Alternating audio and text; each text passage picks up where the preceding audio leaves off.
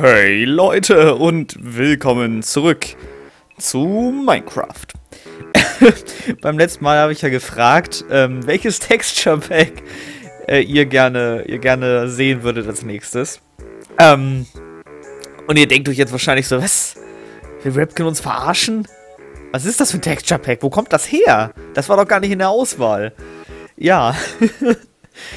ähm, das ist eine sehr lustige Begebenheit. Und zwar hätte dieses Texture Pack in der Auswahl sein sollen. Und äh, ich habe es aber irgendwie aus irgendwelchen Gründen letztens gelöscht. Irgendwie, weiß ich nicht, weil irgendwie eine neue Version da war oder irgendwas. Und deswegen war es nicht mehr in meiner Texture Pack Liste, obwohl das eigentlich da sein sollte, weil ich dieses Texture Pack sehr geil finde. Ähm, obwohl es noch nicht ganz fertig ist, muss man dazu sagen. Es fehlen noch ein paar Texturen. Aber das ist das Chroma Hills Texture Pack. Und allein wenn wir uns mal das Werkzeug ansehen, ja, das Schwert, diese Spitzhacke, diese Schaufel und natürlich diese Axt. Die sehen einfach so geil aus. Und natürlich, äh, wir haben äh, zwei Monde und eine Sonne. Das, ähm, damit ist schon mal sowieso besser als jedes andere. Nee, also dieses Texture Pack äh, ist, soweit ich mich erinnere, das Texture Pack, was äh, extra zur Optimierung für den äh, Zeus Shader entwickelt wurde, aber auch ohne Shader sehr hübsch ist.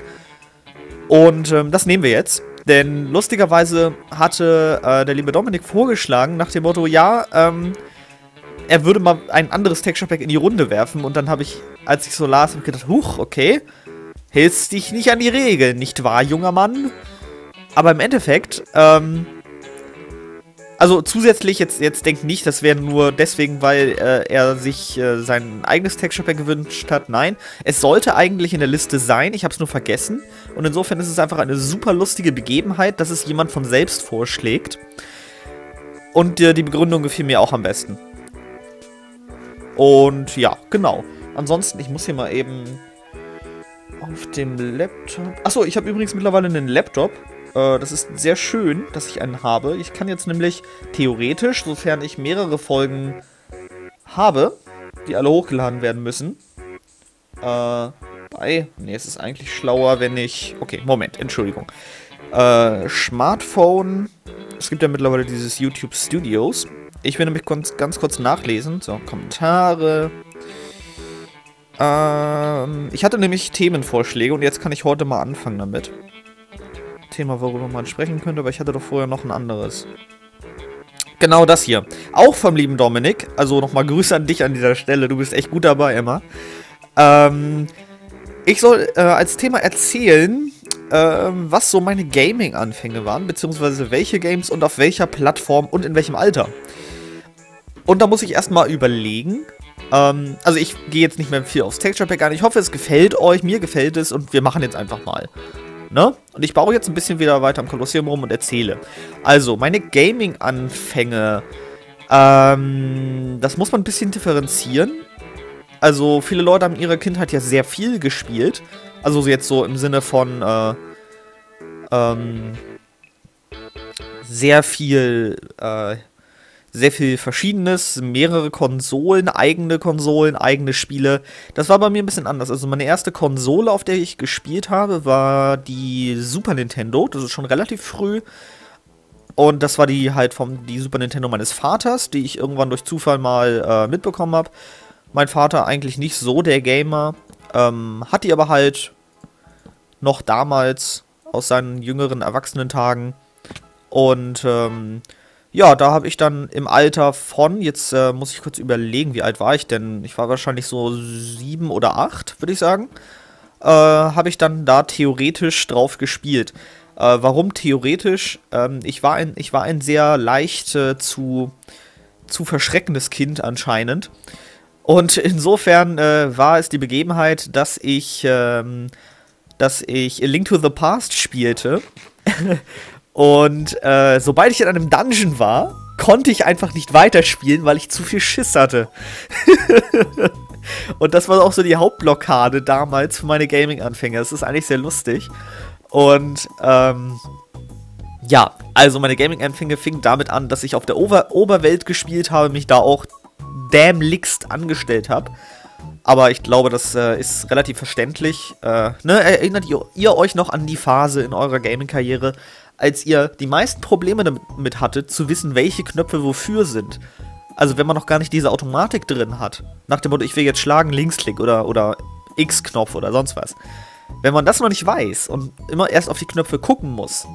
Gerade bei dem, äh, bei der Super Nintendo war da ja vier Knöpfe waren und nicht nur zwei. Wie bei den ähm, normalen NES oder sowas. Das ist schon.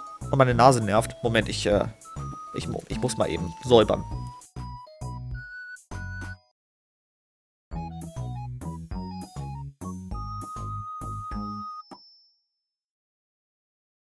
So. Eieiei, ich habe momentan so ein bisschen Erkältung, glaube ich. Und was ich auch habe, ganz wichtig, ähm, ich hatte ja vor länger, etwas längerer Zeit schon gesagt, es könnte zu Internetausfällen kommen. Ratet mal, was in den letzten Tagen los war. Das ist einfach nur krank. 80% der Zeit ähm, zwischen, sagen wir, 9 und Open End, also 9 Uhr morgens und Open End, war mein Internet einfach mal komplett im Arsch. 80% der Zeit weg. Äh, heute ist es ein bisschen besser, ich hoffe, das bleibt so. Und ja, das Uploaden war sehr nervig. Sehr nervig. Weil ich äh, teilweise, ich musste halt selbst, um die Videobeschreibung samt Thumbnail reinzubekommen, musste ich dreimal mein Internet abwarten, dass es wieder da ist. Also ich habe im Prinzip den gesamten Tag dafür gebraucht, diese Folge hochzuladen und zu bearbeiten. Das war nicht so cool. Ähm, jetzt muss ich kurz mal überlegen. Achso, ja, genau. Und Gaming-Anfänge. Ich will ja nicht äh, vom, vom Thema abweichen. Ähm, äh, ja. Da habe ich die falsche Taste gedrückt. Also, äh, im Prinzip mein Anfang lag bei der Super Nintendo mit Link to the Past und Super Mario World. Also ganz klassisch im Prinzip. Äh, in, ja, was, was hatte ich eben gesagt, wie alt, alt ich war? So 7, 8. Also, es ist auch nur eine Schätzung. Also, äh, ungefähr. Vielleicht auch, vielleicht auch erst 6, kann auch sein. Und ja, Super Mario World war ich natürlich auch grandios schlecht. Ist klar, wenn man nicht mal die Steuerung richtig hinkriegt. Aber das habe ich zumindest ein bisschen gespielt. Da lag mein fehlendes Talent halt einfach nur an meinem fehlenden Talent und nicht daran, dass ich mich gefürchtet hätte. und äh, es ist echt lustig, wenn man mal so im Nachhinein darüber nachdenkt, dass man damals bei Link to the Past Schiss hatte. Das ist schon interessant. Ja, und dann so richtig ging es im Prinzip los mit dem Game Boy Advanced. Äh, ich weiß gar nicht, wann der rausgekommen ist. Kann sein, dass, dass ich den auch relativ aktuell hatte. Da bin ich mir jetzt aber nicht sicher. Die Aussage könnte auch ein bisschen, ein bisschen äh, an Wahrheit lecken. Da will ich mich auch nicht drauf festnageln. Und äh, ja, also mit dem, mit dem Game Boy Advance ging es dann eigentlich richtig los. Ähm, dann halt mit solchen Spielen wie, äh, wie Pokémon. Ähm, also das war damals meine erste richtige Edition Oh Gott, jetzt muss ich überlegen. Was war denn meine erste richtige Pokémon-Edition? Äh, Rubin, glaube ich. Ist auch sehr lustig, ne? Robin, Rubin, ist wieder, da gab es, glaube ich, auch tolle Witze damals. Selbst in der Kindheit. Aber na gut. Hatte ich, glaube ich, sogar auf meine Karte noch, falls sie verloren geht, draufgeschrieben, Robins Rubin. Das war. Da war. Also ich war. Selbst damals war ich schon so ein Ass mit sowas. Mit solchen tollen Wortwitzen.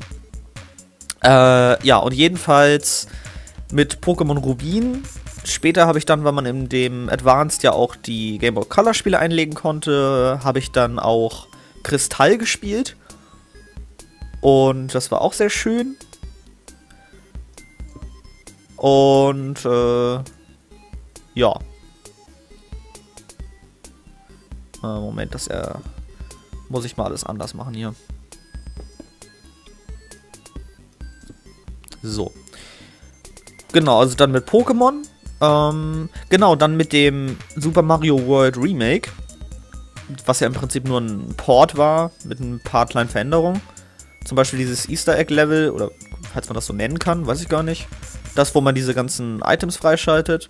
Das gab es ja da, glaube ich, nicht und so. Ähm, genau, das habe ich dann auch tatsächlich, glaube ich, sogar. Habe ich das durchgespielt? Nee. Aber generell, ähm, ich war nicht so der krasse Gamer. Das hat dann eigentlich erst angefangen, als ich meinen eigenen ersten PC hatte. Im Alter von zwölf Jahren oder sowas. Oder ein bisschen früher. Also Laptop. Am, am Anfang immer nur Laptops. Und ähm, lustigerweise ist das, auf dem ich jetzt hier gerade spiele, auch mein erster Stand-PC. Mein erster und bisher einziger. Aber der wird demnächst ausgetauscht werden müssen. Weil der ist halt mittlerweile auch schon seine dreieinhalb Jahre alt und die Grafikkarte, äh, sie, sie weist ein paar Probleme mittlerweile auf und das ist nicht so geil. Also, ja. Ich hatte den ein oder anderen Bluescreen in der letzten Zeit und das ist nicht so angenehm. Also man sieht hier zum Beispiel, die Village haben noch keine Textur in diesem Texture Pack, aber ich finde, das ist gar nicht so schlimm. Damit kann man arbeiten. Und hier muss ich dann demnächst mal gucken, wie ich die Verzierung nach unten hinweg mache. Aber so eine halbrunde Tribüne, finde ich, ist schon cool. Kann man machen. Weil die Frage ist, ob ich die Tribüne rund mache oder ob ich sie abecke. Abecken wäre vielleicht auch nicht doof. Also so. Hm. Ja, genau. Also, äh, erste richtige Konsole war im Prinzip halt die Super Nintendo. Ähm, lustigerweise, aber wie gesagt, ich bin halt auch generell nicht so der Gaming-Mensch gewesen. Und halt, wenn dann später der PC. Äh, konsolentechnisch war ich nämlich echt überhaupt nicht gut dabei. Da hatte ich nämlich dann halt die Super Nintendo. Ähm, die ich auch nicht selber erworben hatte. Dann irgendwann die GameCube. Und dann die Wii. Und das war's. Mehr habe ich nicht. Und äh, halt auch jedes Mal immer nur so drei, vier Spiele dafür. Also da war nicht viel los. Da war nicht wirklich viel los. So, was mache ich hier für eine Abschirmung, frage ich mich. Ich habe eine Idee. Die wird ziemlich kostenintensiv. Aber die mache ich jetzt. Und zwar Eisengitter.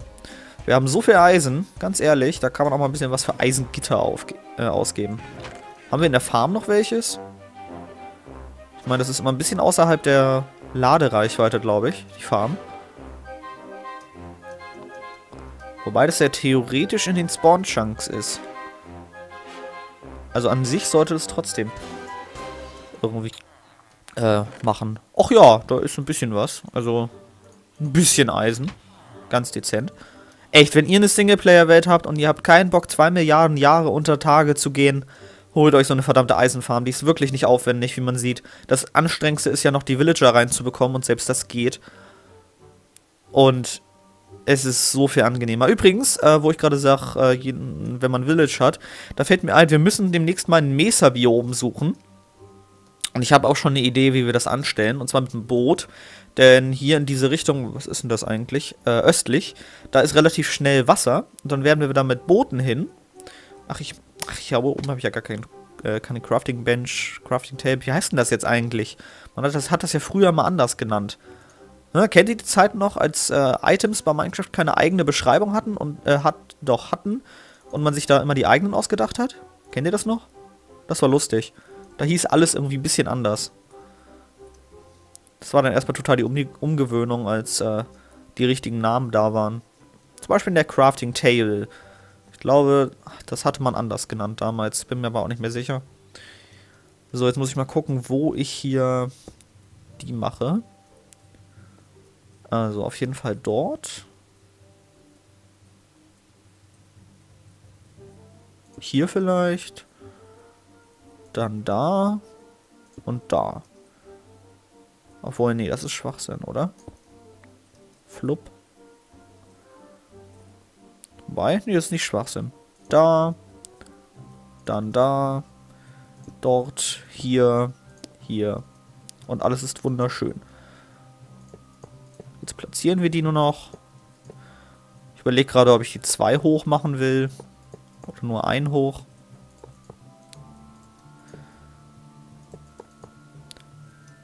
Es könnte auch sein, dass das Gebäude im Endeffekt komisch aussieht. Ich mache das gerade sehr spontan. Das kann manchmal nämlich zu Fehlern führen. Manchmal hat man so spontane Eingebungen, die auch wirklich cool, cool sind. Aber manchmal macht man auch wirklich einen Müll. So, ich mache das jetzt zwei hoch. Haltet mich doch auf! Genau, ich glaube, habe ich, damit, hab ich damit alles, alle Inhalte der Frage geklärt. Ich gucke mir die nochmal eben schnell an.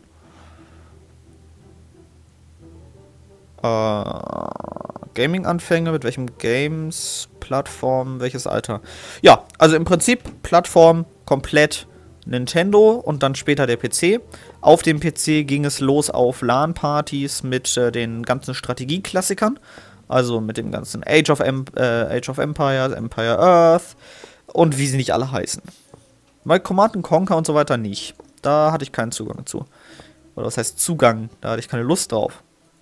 Oder wir, wir hatten keine Lust drauf. Man hat dann ja zusammen entschieden, was man spielt. Genau. Ähm ja, und ansonsten Anfänge sind halt primär bei Nintendo gewesen. Was, glaube ich, die meisten noch nicht überraschen sollte, weil das ja eigentlich bei den meisten Menschen so ist. Ich überlege gerade, was ich draufsetze. Ich glaube, eine normale Reihe.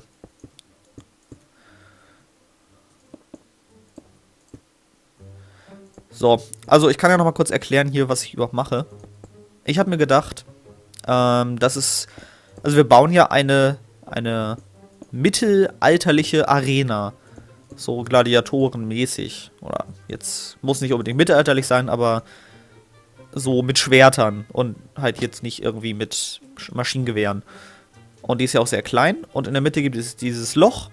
Das ist dann sozusagen äh, die Challenge, äh, die besondere, dass die Leute aufpassen müssen, dass sie hier nicht runterrattern.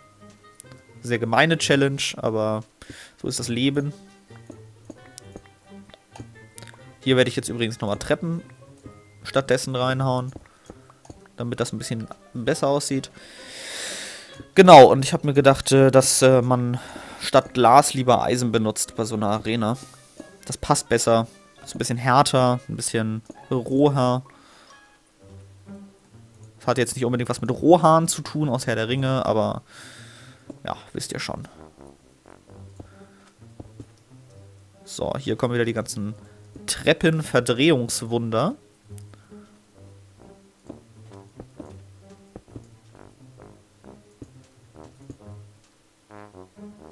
Äh, und hier muss ich jetzt noch so und so. Und dann noch so und so. Zack. Zack. Sieht besser aus, oder? Jo, das sieht besser aus. Sieht immer noch sehr merkwürdig aus, aber es sieht besser aus.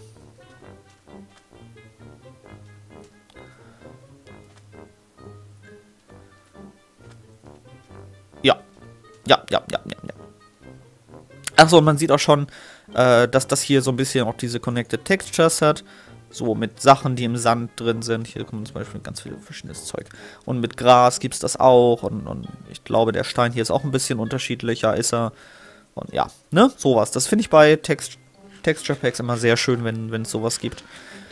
Ja. Ich habe das Gefühl, als hätte ich irgendwas vergessen zu erwähnen zum Theming, äh, zum Theming, zum Thema Gaming-Anfänge. Naja, erster eigener PC recht spät, generell nicht so viel gezockt. Dup, dup, dup. Ja. Ha. Ja, so, ja. Die gebrechlichen Anfänge waren mit Nintendo. Und richtig Gaming war dann mit dem ersten Laptop, mit dem eigenen. Und dann auch schon relativ, ich glaube, kurz nach meinem 12. oder zu meinem 12. Geburtstag oder so, habe ich, glaube ich, damals auch dann World of Warcraft bekommen. Äh, glaube ich. Relativ früh vergleichsweise. Äh, genau, das war gerade zu dem Zeitpunkt, ach damals, als wir unsere neue DSL-Leitung hatten. Also die aktuelle, die 16.000er.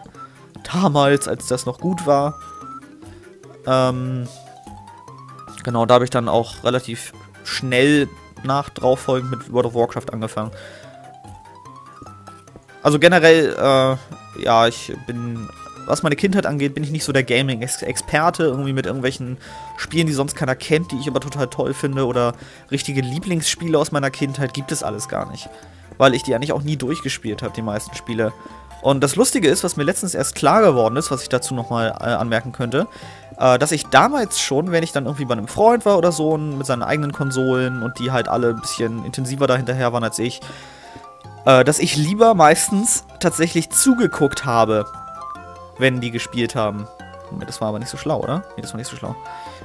Und äh, das ist insofern lustig, als dass ich halt im Prinzip äh, dadurch, dass ich meistens lieber zugeguckt habe, ne, also jetzt zum Beispiel, wenn man zusammen vor Zelda saß oder so, und dann willst du nicht auch mal, nee, nee, spiel du ruhig, ich, ich guck zu und so, das war dann immer ich. So der Langweilige. Und äh, das ist halt insofern lustig, als dass ich ja heutzutage sehr intensiv auch Let's Plays selber gucke. Und äh, im Prinzip habe ich das damals schon getan. Nur damals gab es keine Let's Plays. Äh, ich, ich habe Let's Plays geguckt, bevor es Let's Plays gab. So. das äh, ist mir letztens erstmal so klar geworden. Ich finde, finde das ist schon, schon ganz witzig. Genau. Aber äh, um, den, um das Thema jetzt wirklich mal zum Abschluss zu bringen, schreibt mir doch mal eure Gaming-Anfänge in, in die Kommentare.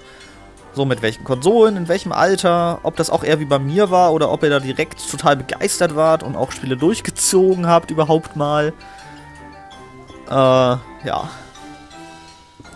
Das würde mich sehr interessieren. Würde es wirklich. Also, das ist ja auch immer das Schöne, wenn, wenn solche Fragen und solche Themen aufkommen, dass nicht nur ich da ausführlich drüber reden kann, sondern dass ihr auch halt selber nochmal euren Senf dazu abgeben könnt. Das finde ich, find ich super. Und äh, hier mache ich, glaube ich, nochmal Fenster. Wenn man das als Fenster bezeichnen kann. Und ich glaube, die Folge ist aber auch schon zu Ende, oder? Die Folge ist zu Ende. Okay. Dann würde ich sagen, beenden wir die Folge auch mal schleunigst. Äh, ich muss die dann auch jetzt gleich mal hochladen, falls mein Internet heute wieder stirbt. Und ich will das hier noch kurz zu Ende machen. Yeah. Okay, aber ich glaube, ich nehme gleich noch weiter auf. Ja, das werde ich tun. Okay, Leute, damit hier keine Monster spawnen, gehe ich mal in dieses Menü. Alles klar, ich hoffe, es hat euch gefallen. Äh, wenn ja, dann lasst es mich wissen. Ansonsten, wenn ihr noch neue Fragen oder Themen habt, über die ich genauso wie heute mal quatschen könnte, dann schreibt sie mir in die Kommentare. Und ansonsten sehen wir uns zu besagtem nächsten Mal. Bis dann.